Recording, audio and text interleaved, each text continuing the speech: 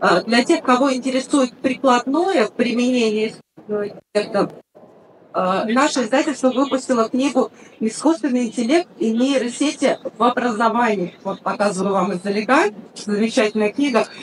А, и я приглашаю к выступлению методиста и разработчика искусственно-интеллектуальных программ Александра Винакова. Александр, вам слово. Здравствуйте, дорогие друзья.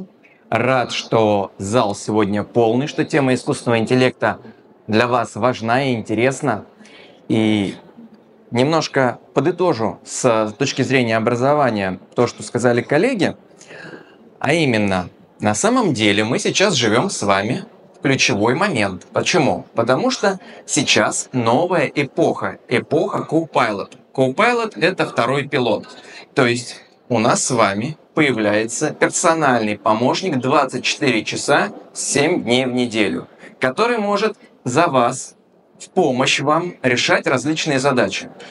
Эта технология уже применяется в различных сферах. И государство активно внедряет искусственный интеллект во все сферы, а, ключевые сферы отрасли нашего государства. Это отражается в ключевых а, стратегиях нашего государства. Так вот, а, по поводу образования тоже есть соответствующие документы. Также Владимир Владимирович Путин неоднократно говорил, что искусственный интеллект не заменит педагога. Это сразу предвосхищаю ваши вопросы. Но искусственный интеллект станет надежным помощником в руках педагога и существенно снизит нагрузку. Вот как раз об этом и моя книга. А, что хотелось бы сказать. Несмотря на то, что искусственный интеллект внедряется во все сферы, в образовании все равно он отстает. Потому что образование все-таки такая консервативная немного отрасль. Причин очень много.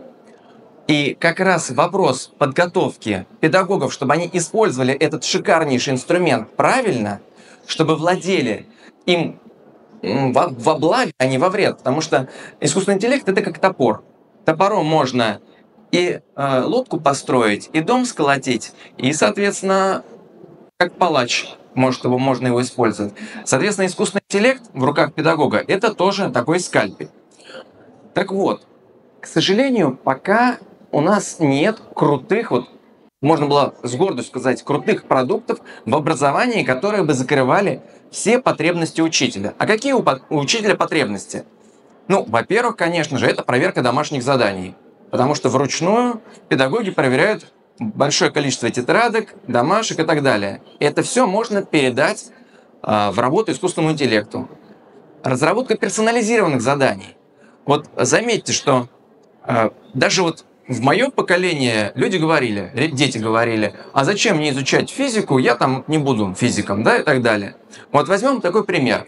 Ребенок увлекается футболом, болеет за какую-нибудь ну, команду, возьмем, например, Арсенал Тульскую. И по физике он видит задачку, специально сгенерированную для него, что футболист этой команды забил решающий гол в таком-то матче. И он уже на эту задачку смотрит не просто абстрактную, которая ему вообще не пригодится в жизни, а он такой, ух ты, а вот я могу узнать, с какой силой ударил Дзюба по мячу, что забил гол. И так далее. То есть это вообще преломляет мышление и подход к образованию. Вопросы о тестах, да, то есть можно, конечно же, с помощью искусственного интеллекта придумывать очень легко тесты. Но я считаю, что тесты это пережиток прошлого. Почему? Потому что легко можно отгадать один из четырех вариантов ответа. Можно, в принципе, а, догадаться. Вариантов много. И когда мы отвечаем на тест, мы не всегда потом узнаем правильный ответ. То есть это получается игра в одни ворота. То есть какой-то абстрактный срез знаний. Но важно же не просто проверить знания, но и научить чему-то. И вот здесь, например, речевые диалоговые тренажеры на базе искусственного интеллекта могут решать полноценно эту задачу. Как? Например, вот э, делал такой тренажер без программирования, без ничего, показываю этот кейс учителям э, с помощью GPTs или там различных конструкторов, которые без программирования.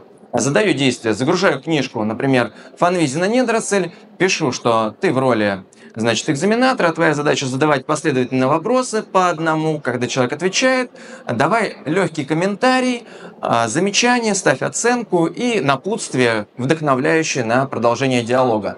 И все, таким образом а, ученик отвечает на вопросы не однозначно, а развернуто. А искусственный интеллект анализирует его ответ и дает заключение, что я оставил, поставил тебе четверку, потому что ты раскрыл главную суть, но не указал то-то, то-то, то-то. И так далее. И тут, понимаете, ученик уже включает критическое мышление. Он читает правильный ответ, он читает то, что у него не так. Это персональная обратная связь. Сейчас у учителей нет возможности каждому ученику из 30-40 учеников в классе давать персональную обратную связь. С помощью этих технологий он может полноценно давать обратную связь. И как раз за этим тоже будущее. Как раз вопрос и компетенций педагогов, он ключевой. И я считаю, что именно от педагогов должна идти инициатива в бизнес, в IT-разработки. Потому что IT-разработчики, они в первую очередь делают что?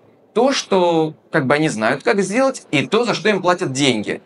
Образование не всегда получает достаточное финансирование, достаточно инициативы и идей.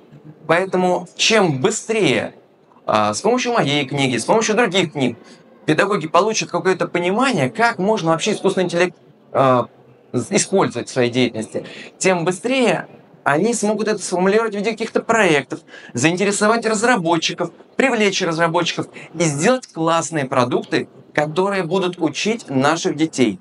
А у детей мировоззрение и восприятие мира тоже другое, и оно идет в ногу со временем. Поэтому если образование будет оставаться на том же месте, то будет все очень-очень сильно тормозиться. Это к вопросу заканчиваю уже свое выступление, а, на подобных мероприятиях у меня студенты, если есть в аудитории, они спрашивают, Александр, а вот а зачем нам вообще писать рефераты? Я же могу реферат сгенерировать.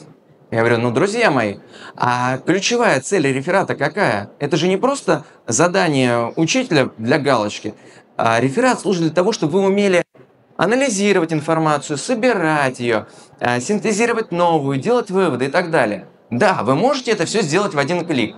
А дальше что? Вы после вуза что планируете делать? Работать по профессии, быть специалистом или чем-то другим заниматься, непрофессиональным?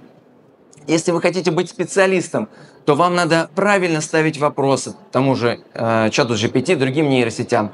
Надо понимать вообще принцип того, как это делать, и уметь это делать все руками и только использовать нейросети и искусственный интеллект себе в помощь, как co-pilot, второго помощника. На этом у меня все. Если вопросы, с удовольствием отвечу. Благодарю. Да, дорогие друзья, на этом у нас э, презентация идет к концу. Э, э, мы в издательстве Direct Media обратили внимание на то, что искусственный интеллект становится чем-то большим, чем очередным инструментом компьютерной эпохи, и наши авторы показывают, что развитие искусственного интеллекта заставляет пересмотреть представление о человеке и сознании в целом.